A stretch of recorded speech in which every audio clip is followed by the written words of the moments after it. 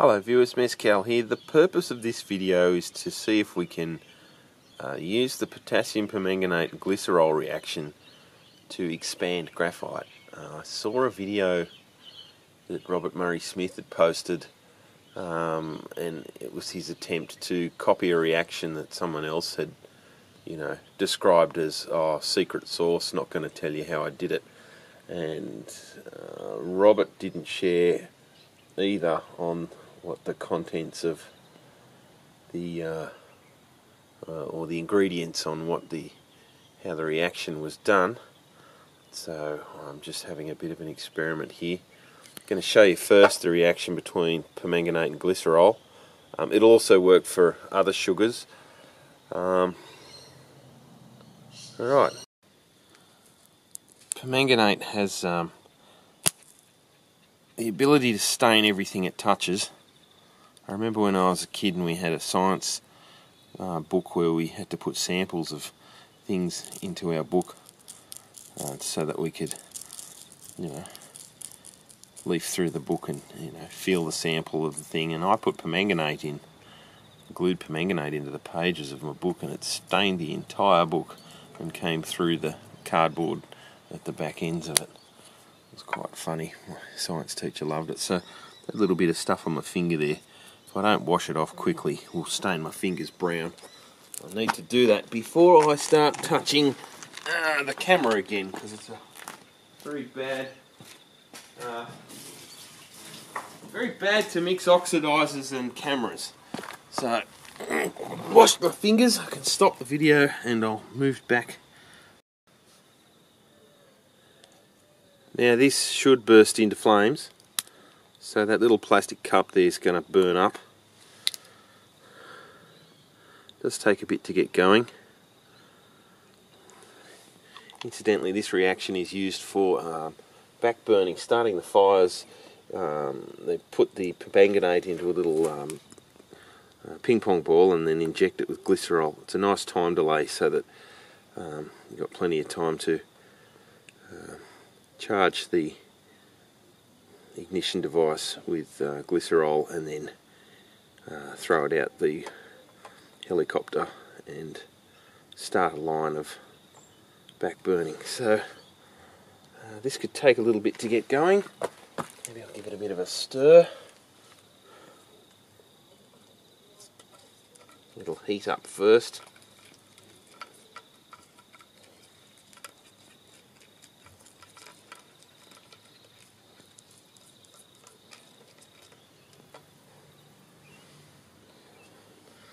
Starting to bubble.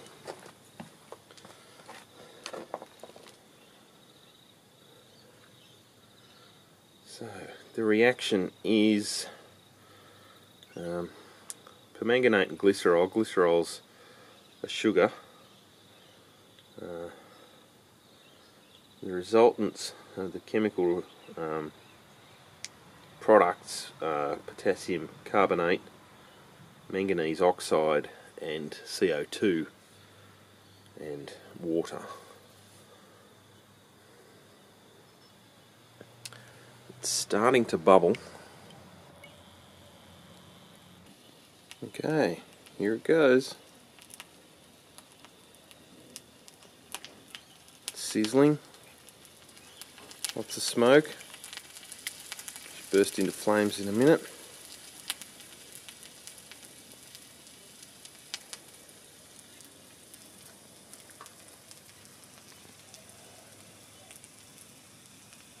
Smells um, sugary. Sort of steam there.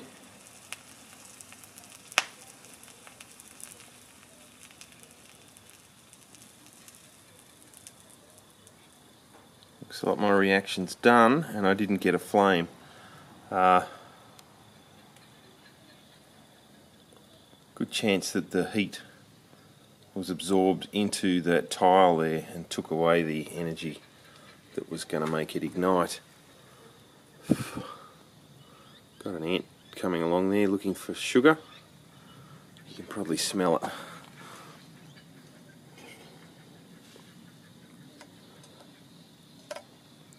Looks like I've got a bit of carbon there. Interesting that the reaction doesn't mention carbon as byproduct on the um, chemical reaction.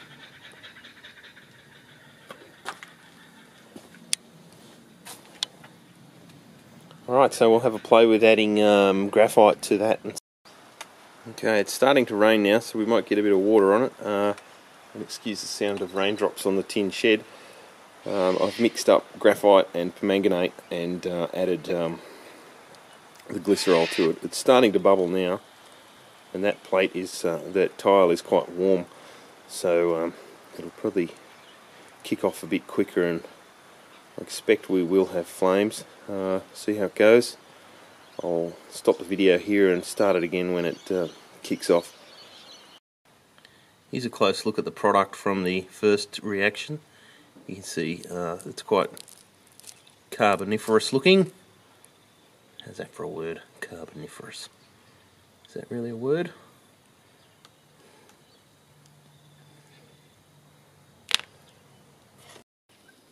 Here we go.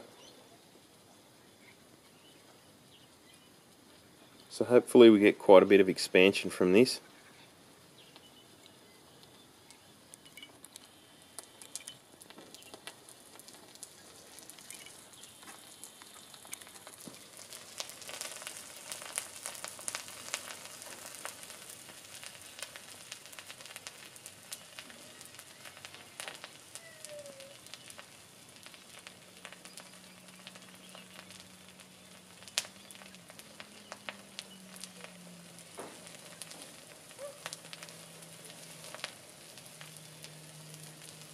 Melted through the plastic.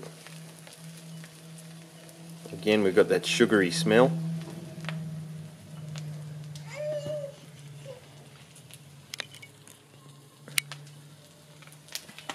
Move sides, smoke's coming towards me. smells like a firecracker. And looks like the reaction's finished. Didn't get the same sort of expansion I saw in the Robert Murray Smith video. There you go. So we need to do more experiments. Any uh, any ideas? Make your comments down below. This one is permanganate and fructose. Fructose has a very low caramelization point. Oh, I thought I'd give that one a go. Um, it hasn't started yet, so I might just put a little bit of glycerol in there to kick it off.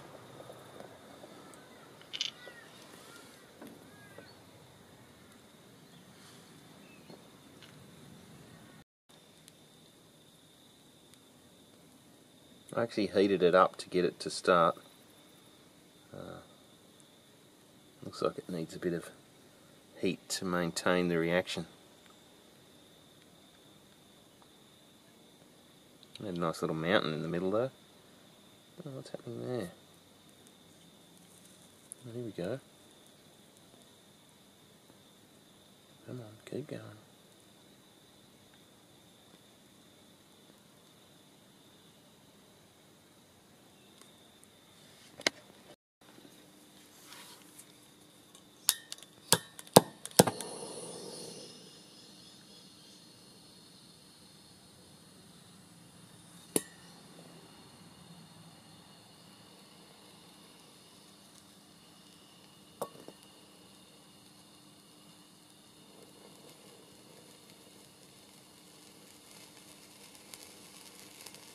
Cool.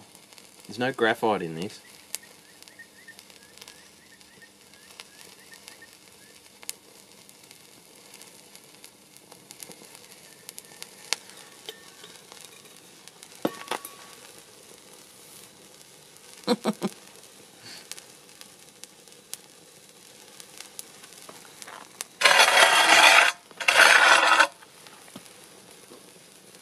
Look at that thing. This is a good looking reaction.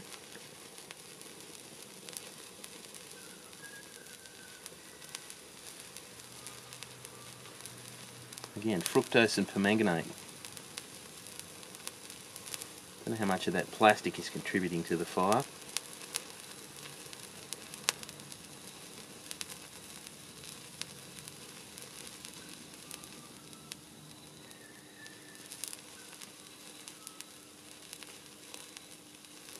I like that. Look at the resultant poo.